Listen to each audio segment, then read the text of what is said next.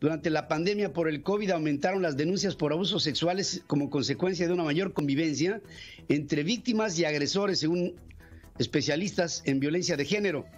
Datos del Secretariado Ejecutivo del Sistema Nacional de Seguridad Pública dicen que entre enero y mayo pasados las denuncias por violaciones aumentaron un 30%. Y esto habla pues de la convivencia y del confinamiento.